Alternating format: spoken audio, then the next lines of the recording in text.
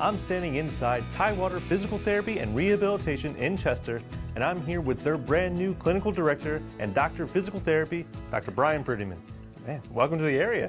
Thanks for having me. How long have you been here now? Well, I'm originally from Easton, mm-hmm. so I'm not new to the area particularly in that respect. While I was in undergrad studying at Salisbury University, um, part of the process was doing volunteer hours. And so I contacted Tidewater, and mm-hmm. they said, yeah, you know, you're, you're from Easton. We have a wonderful uh, office here. Why don't you come on out and get some experience? After I did that, they hired me on for a bit of time in which I got to really see the rehab process and learn, you know, a lot of hands-on stuff um, that really drove home for me that physical therapy was the future mm-hmm. that I saw for myself. So I was with them for over a year and a half and then went off to PT school and the rest is history, I guess. So we're here in the Chester building and it's part of a big family, but you guys offer something here that's different from a lot of the other buildings, right? That's correct. Um, one of our specialties here is aquatherapy. So not all people are you know, capable of doing a lot of different things. You know, whether it be hip pain or knee pain or back pain or even sometimes the upper body, shoulders and such, they would benefit from being in a lower gravity type situation, such as being in the pool.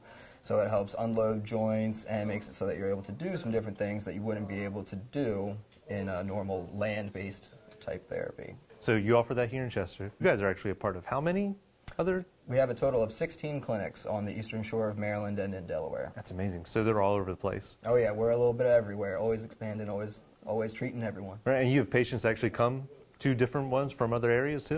Yep. So for instance, we had a patient that was in our Salisbury location, relocated up to uh, Chester, and we were able to transfer them over and pick up their therapy where the other therapist left off and get them with the, the services that they required. You guys do everything from like post-op to aches and pains. So what are, mm -hmm. some, what are some things that people can, if they're having pains, they can come in and just take care of?